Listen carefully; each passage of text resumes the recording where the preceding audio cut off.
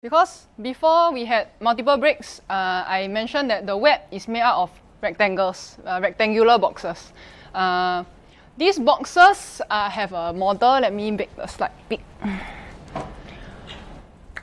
All the boxes on the internet follow this called a box model.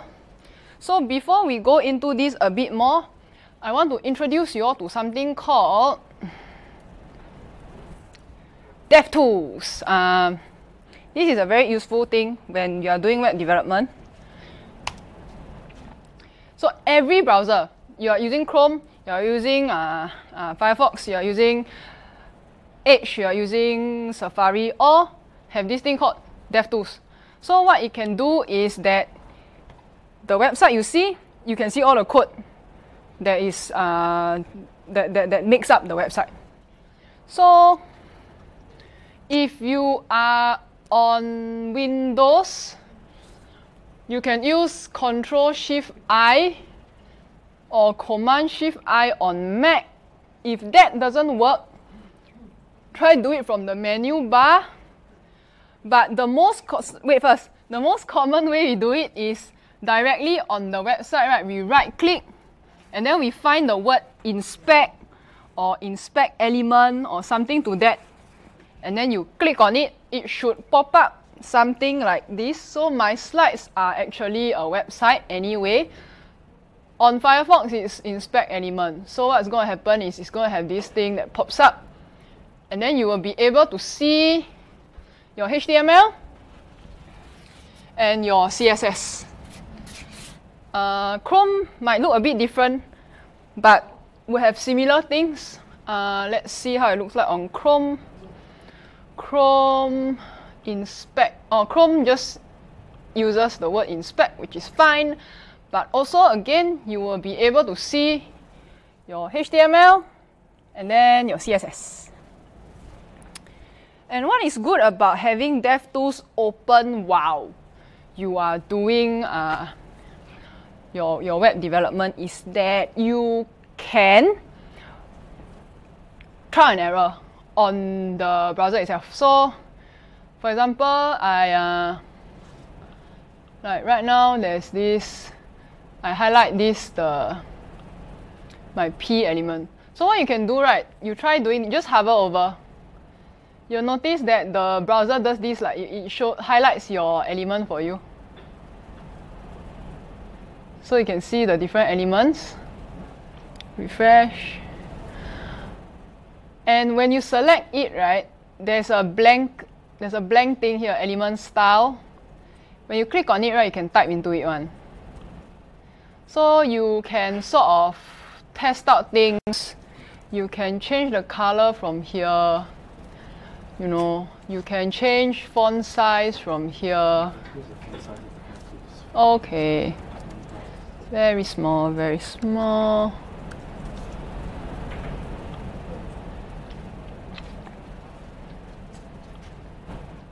To sort of like a testing thing, you can do your CSS here and you can type.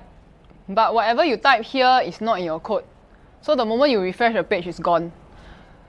So for now, you can do it to, to test things, to, to debug things. Um, so this is a, a very helpful tool that usually we keep it open like all the time. For example, if I want to look at this then I'm like, oh, uh, what happens when I add things to this? Ayah, why doesn't it work? don't, don't like Chrome. Let me go back to Firefox.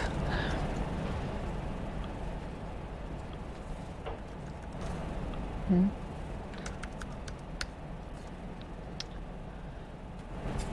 So for Firefox, same thing. You can align, you can toggle styles on and off with a checkbox also, if that's something that you want to do. That's DevTools. So that's a helpful intermission, but let's go back to the main thing that I was trying to say.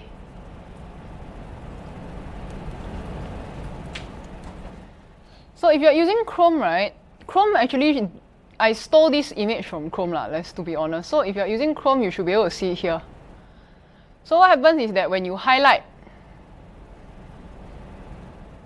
you'll notice that there's some orange because browsers by themselves they they have default styles so if you if the browser didn't have default styles right everything would just be text in a one size in the same uh, format. So browsers are come come with a set of default styles but these styles can be overridden by css which is what we do. So browser styles specificity very very very very very low. Like they are like almost out of the because the moment you style something a user style something it overrides the default styles. But you can keep the original default styles also. So that's that's just one thing. But the, the, the point I'm trying to make is that there's something called a box model so your content right only takes up the blue box you can the space that your element takes up right also includes something called padding which is the next layer, border, which is the layer outside that, and then margin, which is another layer. It's, it's like, uh, I don't know, layer cake or something. So that's how you can figure out how much space your element can take up. So you sometimes it feels that margin and padding like it's same thing it feels the same until you, you sort of visualize it. Margin controls space between elements. So how to show this is that I draw dotted line around each element. Uh, it's, it's very blur, but I'm hoping the color you can see from the back. Like each element I have I've drawn dotted, different colored dotted lines, right? The margin will control the space between the elements. So if I had taken away my dotted lines, it actually would look the same if I did padding or margin. But if you use padding, the effect might be the same, but the calculation of the amount of space that your content takes up is different. Because the padding controls the size of the box without adjusting the size of content, meaning there is no space between the elements. It just increases the size of the content box. This doesn't seem to make a difference here, but it will when you do things like apply background color or background image. Because the background applied on an element, the amount of space will be the amount of space of the, the content. So, for example, if we go back to the code, and go back here. Wow.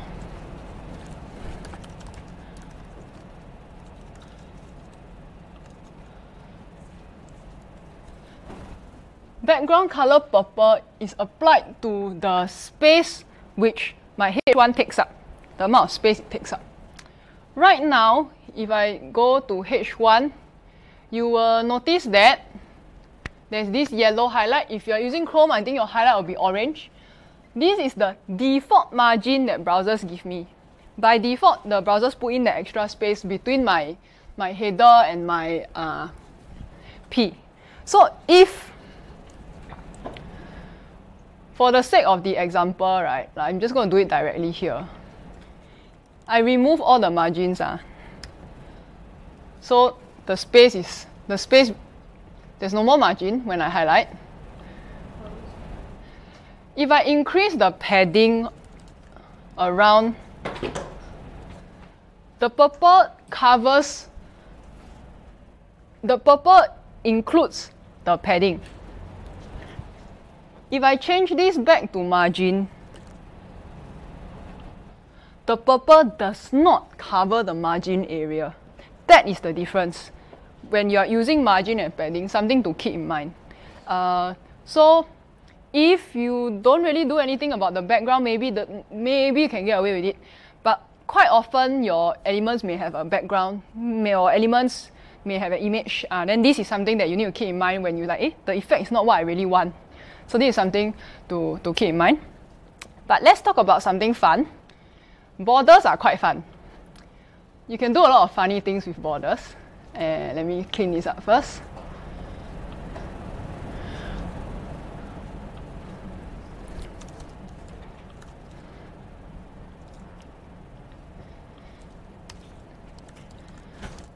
So far, the CSS properties that we covered are single property, single value, right? But CSS properties, some of them can have multiple values, and border is one of them. So again, I'm going to go back to here, MDN, which is my favorite encyclopedia, and I'm going to search for border. Because border can take in multiple values. Because you can control different aspects of your, uh, your border. So if you have multiple values in your CSS property, you would um, divide, you sort of split them using spaces. So for border, right, usually we use three values. You can use one or two, but three values, you can control more things. So the first value in a three value, if you're using all three values, first one for the width, how thick your border will be. Second one for style, because you can have a number of styles, you can have dash, you can have solid, you can have dotted. The last one is the color. Because by default, uh, by default the color will be black. But sometimes like nah, black border a bit boring. So why I say borders are fun? Because there's a third, there's a there's a fourth value. Actually there are many values for this. I just realized that there's double. So uh, is there a full list? Ah okay okay here's a full list. So for, for the how the style lah, style, you can all these funny things. But today let's let's try something called inset.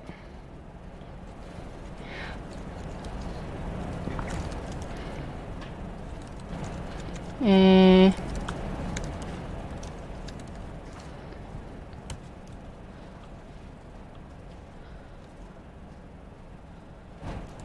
So, okay, the most basic, most commonly used border is solid. Because um, it's a very standard vanilla use case, solid border. And uh, you can all you can also try out the different values. You can try out dotted.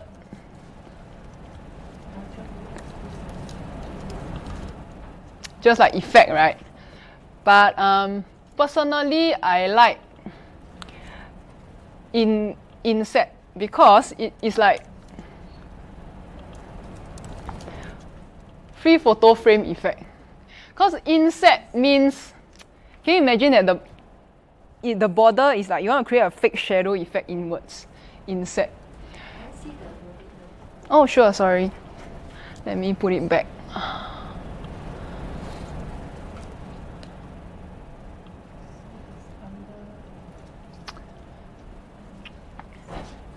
And the interesting thing about borders is that for a number of CSS properties that uh, concern the concern a box, so the border, the margin, and the padding, right? You can apply it evenly to all four sides, but for all uh, for other purposes like margins, paddings, you can actually target single side. So if you don't specify a, a, a side, default everybody gets it evenly. So my border is 20 all sides. But I can also do something like border left, then only only on the left. So depending on the effect that you want. For margin also the same thing, padding also the same thing. If you only use without a, uh, without a direction, it will apply evenly throughout. But if you specify, you can just focus on one side. Uh, yes? Yeah, for the, on the MDN guide, right, the Mm. syntax, does it matter, why does it matter like the order of the... The order matters uh, because the compute, like all this code, right, we are typing it in human language, human language. But compute, like your, your machines do not understand human language. There's one more level that happens on the browser level whereby it will, it will read all this English, these, these human readable terms convert to uh, code that machines can understand. And the order is so it is actually based on pattern matching. It can tell that border left, this is a pattern, and it will expect that the first value is width, the second value is style, the third value is color. If you mix it around, the the the algorithm doesn't understand that you mix it around. It, it is expecting a width, you give it a color, like no, it will just ignore it. Your, so your style, if you use three values and you mix up, you can try, I don't, it won't work. Your, your style will not be applied. It will just ignore. That's why for multi-value CSS properties, and again, I hate doing this to you all, but for some, the order matters like border, for some, the order does not. So again, that's why it helps to have the MDN open. It will tell you whether the order is important or not. So for now, just remember that border, the order matters. Sorry, you say open. What? MDN open. Sorry. Huh? Oh, I say keep it open as a reference. Keep it open, as in. Uh, tab lor. Uh, tab. Oh, Ah, we don't want to keep open also can. It's just helpful. It's like you have a open book exam, then the book next to you. okay. So this is border. So the question now is, how can I get my image, which is display block, or any other element that is display block, but does not take up the width of the container? How do I align this? How can I get it to align to the middle? Because I, I want this in the middle. So we can make use of the margin property because what does margin margin controls the space between elements, space on all sides, all four sides. So margins like borders, like width, like height, they can take values.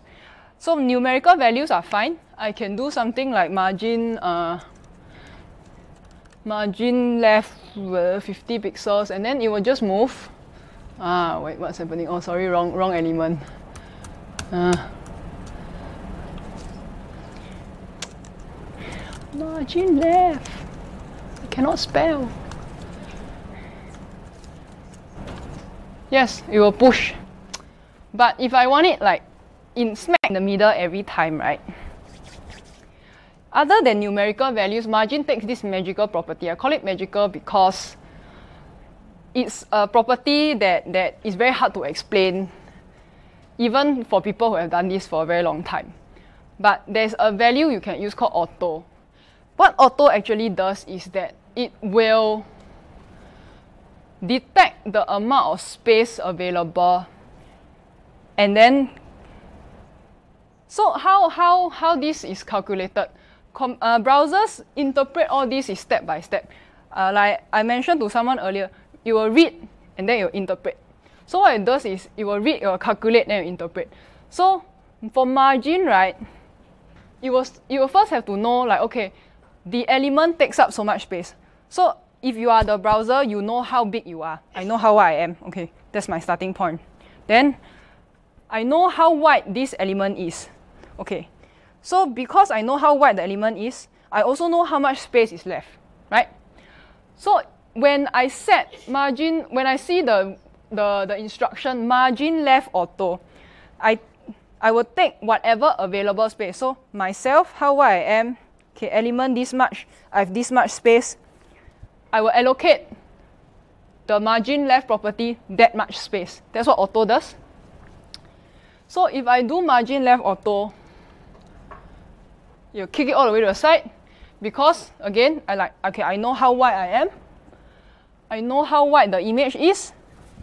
This is the amount of space remaining margin auto will assign uh, you you won't you won't have you don't have to calculate the, the, the value yourself. Browser calculate. Browser says, okay, this is the amount of fixed size. Auto will be converted to a number, but you don't need to know this number because the browser internally knows the number. Browser internally calculates and sets it for you. Auto, you will use all the space. So in order, we leverage this property. So we call it a trick lah because it's kind of weird that we do it this way. But if you want this to line up right smack in the middle, we add another auto on the right. So what happens is that you're like, okay, left also auto, right also auto. That means I should give both sides the same amount of space. So just kick it to the center. Left and right equal amount of space. And then your whatever it is will be aligned to the center. And this is a very, very common technique we almost always use to try to align block elements uh, cent- centralized. There are other ways to do it now. But for the longest time, this was the, the way to do it. Because today I only introduced two display properties, but there are more. There are more. The thing about CSS is that CSS was invented in 1994. Back in 1994, there wasn't so many CSS properties. CSS is a language that gets new features quite frequently. So recent years, there have been new display values that, that, that have different properties. So, but in order not to confuse everybody, let's stick to two because with these two, we can already do a lot of things today. So this is one of the methods you can use to sort of do uh, alignment.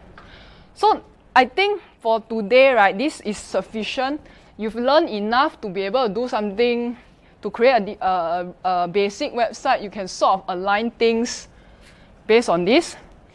So I want to cover very briefly two more things that I mentioned we will cover earlier today is that the command line and Git. And this may or may not make sense to you. So I'm going to try my best to explain it as well.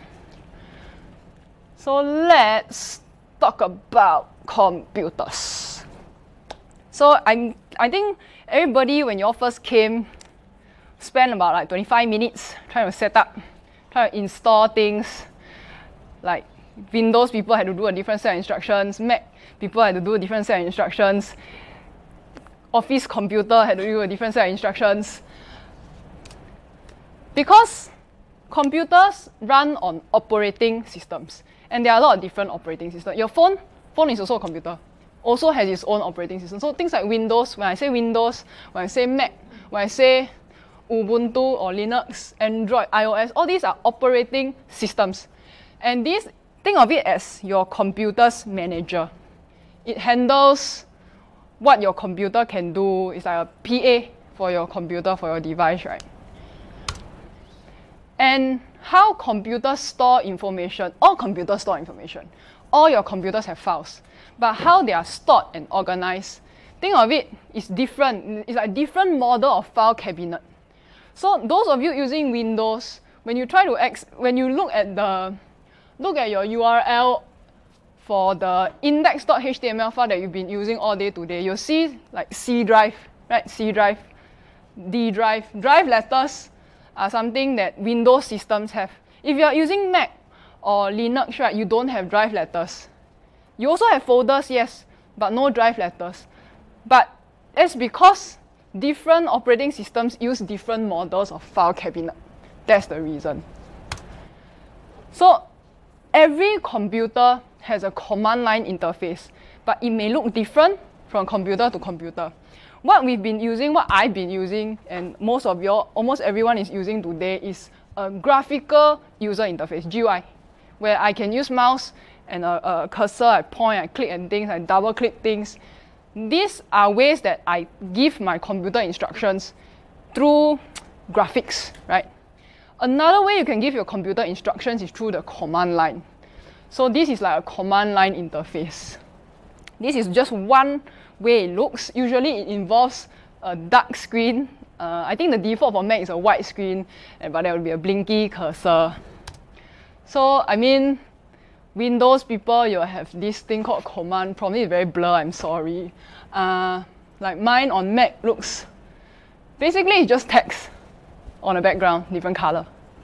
But it's, think of it, it's just a different way of telling, giving your computer instructions, right? And for today, for, for HTML and CSS and JavaScript, for web development, actually for most programming today, graphical user interface is enough. But when we need to run things uh, on, on computers that are far away, because I, I actually I skipped a section today in terms of like how computers work. I let's see if I can cover this in like five minutes. How the web works. Clients and servers, right? What we have today in front of us, these are all called clients. Clients. Because when you go to www.facebook.com, right, the page, the images, the text, the data shows up on your browser. But you all know today when you're doing your work, right, everything is on your own computer. When you load Facebook, you know the files are not on your computer. Why? Your browser can load those files. But these files exist somewhere. They exist on Facebook's computers. Clients and servers are just computers. It's just we assign them different names because of their function is a bit different. Clients, think of it, servers, service, provide something to the client. You, your, your machine, eh, receives this service. If this black line is the internet, servers directly connected to the internet. So servers are again computers. So Facebook has servers. These files, Facebook also will have HTML, will have CSS, will have JavaScript, will have all these files live on physical servers. This idea of a cloud is just jargon. It's not up there, it's down here. Servers. And then of course we have internet service providers, which are for in our case StarHub, uh, Singtel, internet telcos lah. They're also connected to the internet and they provide internet to us lah. Then there's us. We connect to I'm not sure who ThoughtWorks uses, but let's say for example they use something like oh MyRepublic, internet service provider MyRepublic. They provide us uh, internet. We connect to the internet this way. At every connection point, there are things called routers. So there will be a router here in this building where we are connected to this TW gas. There's a router where we are connected to MyRepublic. There's also another router. When MyRepublic connects to the internet at large, another router, the routers are what sends the information to the correct place. Because every device in the world has a unique IP address. IP address is like a house address. And so when we say www.facebook.com, uh, but you can also have things like .sg lah, .co.uk, .ly. These are domains, top level domains, which essentially what it does is I addresses, right, are numbers. Every, how, because computers do numbers, generally do numbers very well. IP addresses are numbers, but these are very hard for people to remember. So there is a mapping. There's like a phone book, phone directory that tells me that uh, 10.3.8.65 is the www.facebook.com. There is such a directory. Um, it's called DNS, but I'm not going to go into that. Just think of it as there's a phone book, there's a directory, keeps track of all this. And that's how the whole concept of unique resource name. That's why you, you cannot have the same file name for different files on your computer. It's so as to ensure that every like address, every file is a unique address. It's just think of the internet as large like Earth. Earth, then then country, right? Then Singapore. So then it's like maybe your country's uh, data center. Then a bit smaller. Your your maybe this this area is serviced by a certain provider, and then smaller and smaller. So the address is every single every billion all the billions of files in the world, right, are all unique. All can be accessed if you are connected to the internet. You'll never overlap. So how it works is that when you type a URL, you're sending a request, and the server will respond to this request. So how it works is that you will type a URL. You type www.unicorn.com slash rainbow.html. And so the first part I tried to explain earlier is the protocol, which is the standard set of how devices talk to each other. Second one the server, so the computer where which this file lives. So unicorn.com is a computer that has all the files for unicorn.com. Rainbow.html specific, I want that file, I want that HTML file, please. When you click, when you press enter, sends to the server. Unicorn.com, that's the server. It's like, hi, do you have rainbow.html? If there is, he has, you'll say, yes, I have it, I found it. And then you'll give it back to you. And when you give it back to you, your browser is like, oh, okay, I received the file, I will read it, and I will show you what is inside uh, rainbow.html. Request and response, request and response. So you request from the server, and the server serves you, the client. So your phone, your computer, all these, these are clients. But everybody is a computer. Everybody is a computer. So everything on the internet connected by links. So when you click on a link, right, it's just a URL, but you didn't have to type it. It's pre-typed for you. So same process, if I encounter a link on my web page, it's called, oh, I want to see my beautiful gallery of rainbows. I click the link, I send in a request. I'm like, hey, can you also pass me gallery.html? Like, yes, I have it. Give it back to you. Your browser, okay, I'm now at, I'm now showing you not, not rainbow, but gallery.html. That is a very high level explanation of how the web works. So that's, this is the part that we covered. So when we go back to the command line, right, a lot of times we do not host the files on our own computer. If you ever create your own website, right, if you think about it, you will shut down your computer from time to time. Sometimes while traveling, I shut down, not connected to the internet. So if you think about it, you can host your own website on your own computer, but not that feasible. You ideally you would want to sort of rent space for your website to live in, like at a very stable, like, it's always there. So there are services that provide this, right? But these are computers that are not yours, they are somewhere else in the world. So when we access these computers, there is no screen. We cannot see, there's no, there's no graphical user interface to communicate with those servers. That's why you need to know about this command line interface because it's the most, un, and up till today, uh, from the 60s until today, the way to communicate with a remote server, we use the word remote server because it's not, it's, it's remote, it's far away. It's through the command line. No way about it, around it. So this is why um, you, we will be covering this, I think, in uh, probably workshop two or three. But today serves as an introduction to, to what this is. So command line interface. Um, one of you would have been Oh, okay, no, I did not cover it all. So how it works is that you will have to give it commands. So most of you today, you all did something called uh, like the Windows people had used like uh, Choco uh, install or something. The the Mac people have like brew install something. These are commands. So you're just giving. Think of it as I'm just giving my computer instructions, except that instead of clicking, I'm typing. Unfortunately, different programs have different set of instructions. So then it won't be the same set of instructions. Every time you install a new program, new instructions to use. So that is the command line. And if you had uh, signed up for a Code Anywhere account, you will also be able to talk to, because Codeanywhere is an online service.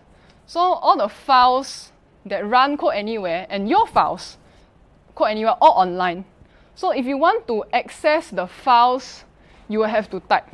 So I think today we don't have a we don't have a chance to, to do it, but you can sort of I'm just going to show an example on my own my own computer because what's happening with my own slides, right, is that I'm, I'm serving it off my local, ah, this is not good. So these are my these are my slides. This is what's happening uh, on my slides. So I'm using a command called grunt, which you I will have because I installed a program called grunt. And then when I when I run it, it runs my slides. So, so, so that's, that's basically what the command line is. It's not something that is magic, it's not something that's very foreign. It's just another way for you to give your computer instructions. And uh, as you go on, you will end up using this, uh, especially if you create your own website and then you want to host it somewhere. And then you want to access files, you want to upload files. Uh, yes, there are, there are graphic user interface methods for that, but this is faster. This is very fast because it's only text. They don't have to send you images over. So this will be good to just don't not, not don't be scared of it and something that uh, you should try to pick up uh, if this is something that's interesting to you, and pursue it further. Uh, it will be good to learn about the command line because it's a file manager also and my font color is terrible. Let me change the color so uh, oh, there's nothing that's a decent. Oh, no, there's nothing that's a decent color. I'm sorry. but uh, it's as if I'm using File Explorer. It's just that this I can use an ls. I'm typing ls to just list all my directories. So if I open the file manager finder, right, this like is the equivalent of this. So I have the same stuff. I have applications, applications, desktop, desktop. It's the same. I'm you doing the same things except using uh, I'm typing. ls just lists all the folders. If you're using Windows, you will not use ls, you will use dir. Eh no, do you use dir? Show, show directories. dir, I think, is it? Oh shit, what the hell? There's so much shit.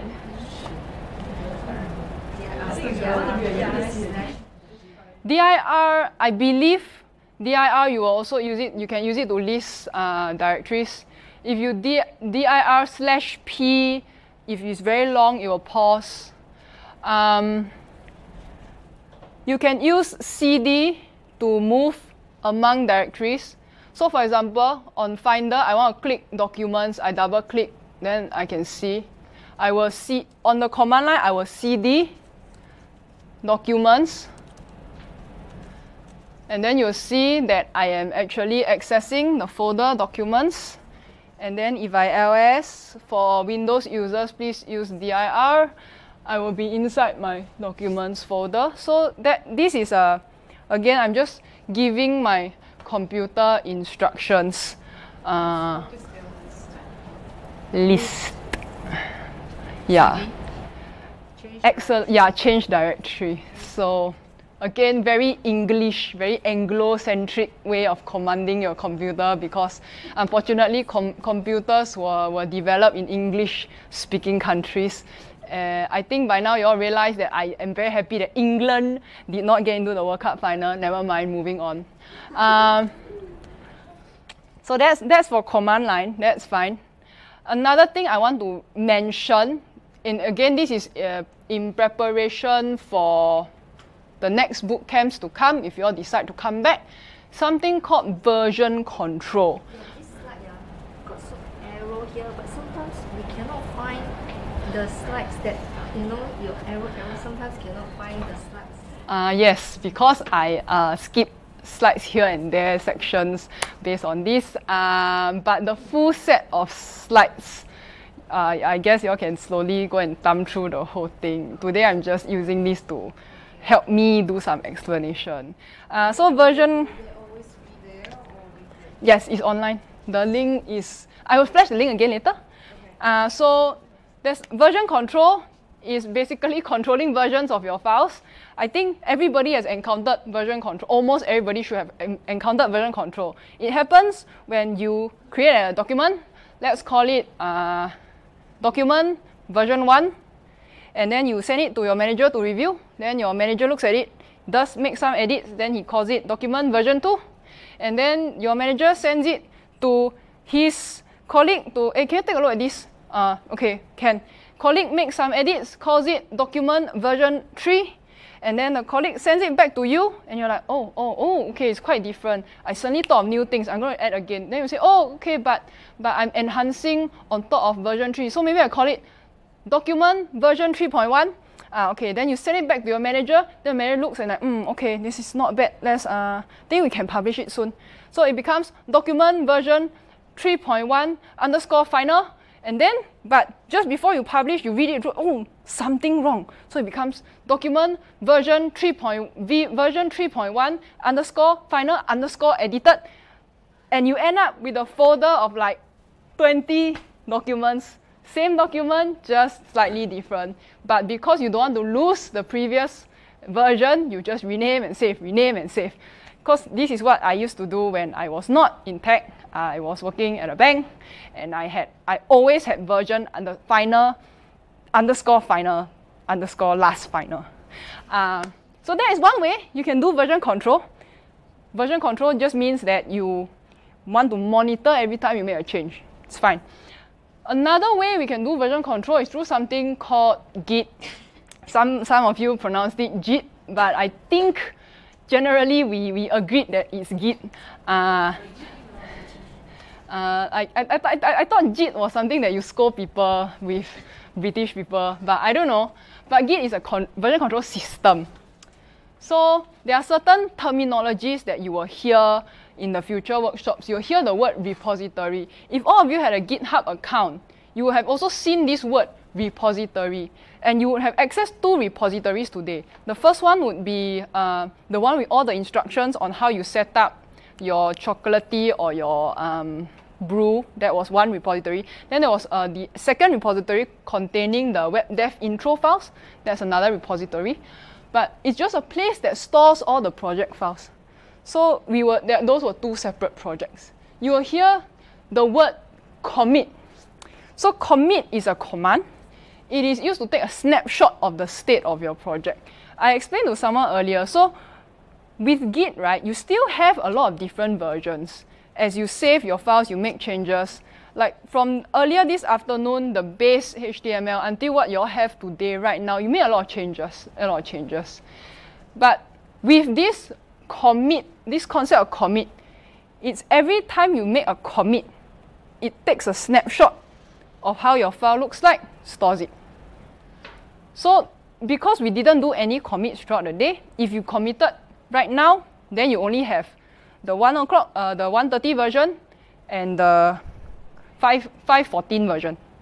But if we had done something called commit throughout the day, we had committed like once every 15 minutes or once every three commands, we would have had many, many commits, many, many snapshots.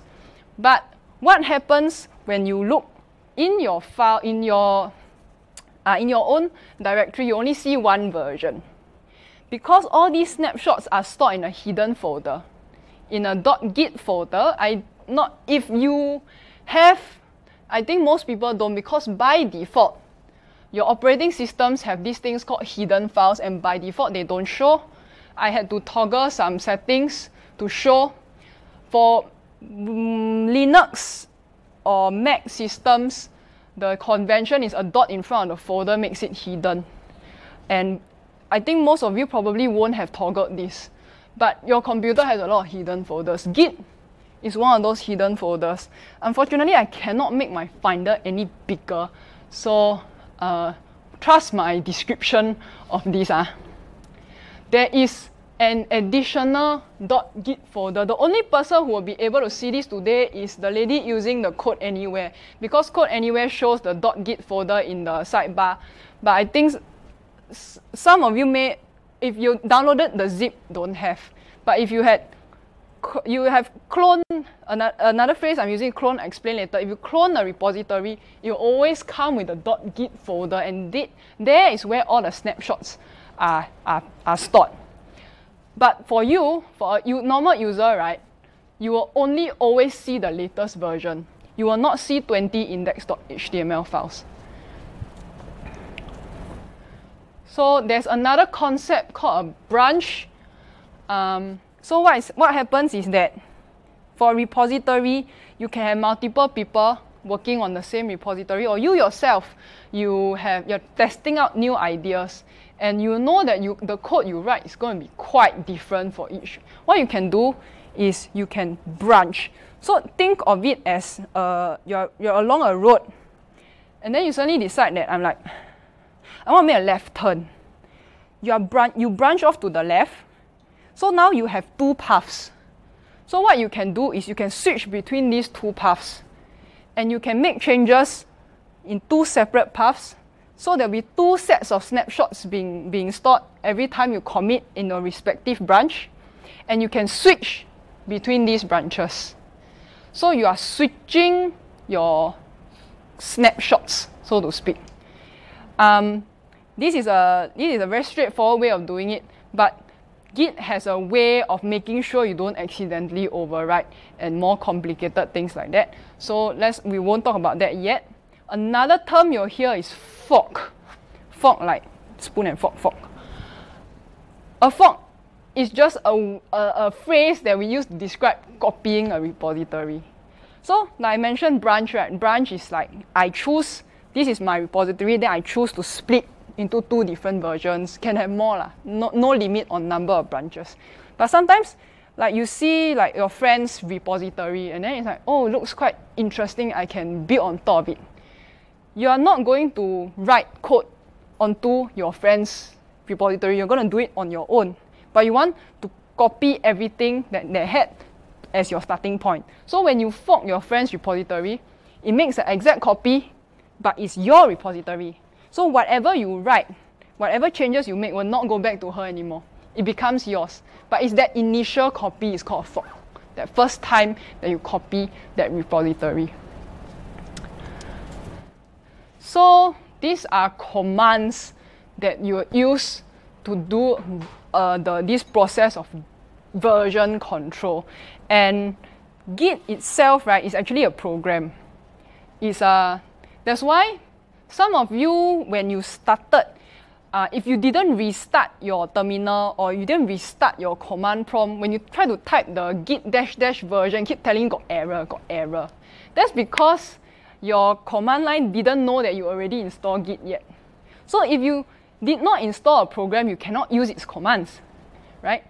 So once you restart, then it like refresh and oh, uh, I have git installed now. Then when you type git dash dash version, like, oh, okay, that's a command that I understand. Then I'll show you, oh, you are you have now installed git version 2.18 or something. So git is a command that only uh, works if you have git installed on your computer, which all of you have had. That's great. So what you can do is, just now I showed you how to move between folders, move between folders. The general uh, instructions for, for doing a, a version control with Git, you make sure you are in the project directory. So for, for us, the example is the web dev intro folder. So uh, from the command line, I will cd, cd, cd into that folder. And then when I'm in this project folder, right, and it's a Git repository, so before, for all of you who downloaded the zip, it's not a Git repository because you just saved some files. You, to make it into a Git repository, you have to type something called git init. Um, a, you could try to do this or you can just take it as uh, instruction. I will just type it out here so you all can see the word. Init. Init stand for initialize. That is how you generate this .git folder. It'll be empty at first, first time. Git init. After you have this, your project is considered a Git repository. Before, it's not. It's just a normal folder. Once you run git init inside the folder, it becomes a Git repository. So with that, you can start using all these Git terms. Uh, some of you, maybe when you go back and try, you try running any Git command in a project that is not that you never git init before ever, you will see an error. I think your command line will tell you that this uh, this is not a Git repository or something along that line. It will tell you, eh, this is not, I cannot run Git commands on a, on, a, on a folder that's not a Git repository. So I can do that. So there's a, there's a phrase I use, it's called stage. Again, it's a lot of jargon, which I don't really like, but unfortunately is standard phrase. Stage the files. So before you send all these files into the GitHub is a place that hosts all your can, can host your uh, repositories. So it can it can live only on your computer, yes, but you can also send it online to GitHub to store, so that uh, other people can access your your projects, right? So before you send the files up, right, or before you send the files into this storage, this git storage. You have to stage it. So you will git add a specific file. I can I can target. I I only want to uh, sort of snapshot my index.html or I only want to snapshot my styles.css. Can you could do that? Most commonly, we would want to stage all the changes. So the dot is short form for everything, everything in the folder. Git add dot is everything. So it will stage, so it puts all your files in this temporary area. Because before you send the files up, you need to label it. Because as like I said, every time you commit is a snapshot. So how do you identify all these different snapshots? You can write a commit message, which is essentially a label to label each snapshot. So here it says write a sensible commit message. Uh, let me explain. It is possible to write anything here. You can write a commit message called ghost, send. Nothing against that. You can write a commit message called bug fix, send. But these are not descriptive. It's very similar to why I ex- what I explained about alt text. It has to be descriptive to be helpful.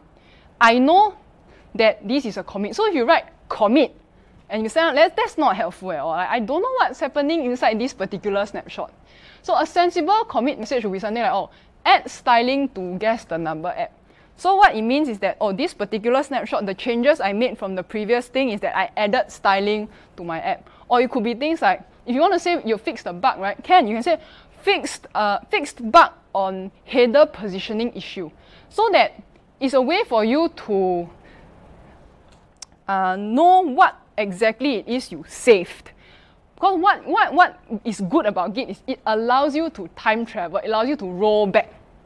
So if you commit regularly, like 20 commits in, you realize that, oh, something is broken. I broke something in between. So if you label all these correctly, right, you, you know, like, you can, it's sort of a reminder, like, what I did, like, 20, for 20 commits, like, at each step, what did you do? Each, like, checkpoints it makes it easier to, if you suddenly remember that, oh, I accidentally deleted one line of, uh, one line that I, I didn't want, right? You can actually go back and reference, or you're like, oh, from, from, uh, let's say I have 20 snapshots, right? From 16 onwards, actually, I think I was going in the wrong direction. I don't want everything from 16 onwards. You can say, okay, I want to revert back to snapshot 16 and start from there. Can. You can roll back. So it's very important to have sensible commit messages. Otherwise, if everything is just called commit, commit, commit, commit, good luck, good luck getting back to the commit message. That, good luck getting back to the snapshot that you're looking for. So that's why you have to stage the files first. You stage already, then you label. Stage and label, and after that, you finally, okay, after I've labeled it, send it up. Send it up, git push. Git push is I push these changes up to GitHub or wherever uh, my, my, my project repository is. So, so are one change, one commit, then one push. You can so when to commit right is really up to you. Some the we, we like to commit regularly is just to make sure that if somewhere in the middle we broke something right, we can sort of slowly slowly roll back without losing too many things. If you one shot do a big commit, a bit commit, harder. Push. Then if ah. you make a change, commit, then push again. Some, yeah, the general procedure is like that.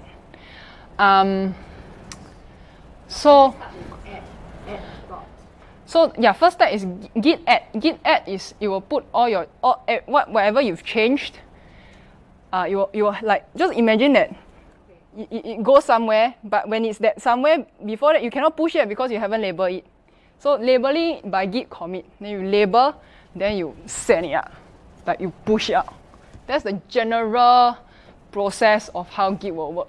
Today, no, not, don't, don't cover because it's uh, a bit more complicated. But the subsequent, I think the either the next workshop or the third one, you will have to do this. It's part of the uh, uh, assignments that you are doing. So it is now uh, 5.30. So ideally, we, I'm going to stop here so if you all have any questions or anything, you all can ask or, or, or whatever. Yeah. So um, before anything goes, I just want to say that today is a Saturday. Uh, you could be anywhere else in Singapore today enjoying your life, but you chose to spend your time here with us, and we are very appreciative that you showed up. So thank you all for coming. And yeah, if you have any questions, we're all around to, to help. Yeah, so thank you very much. So I'm going to flash all these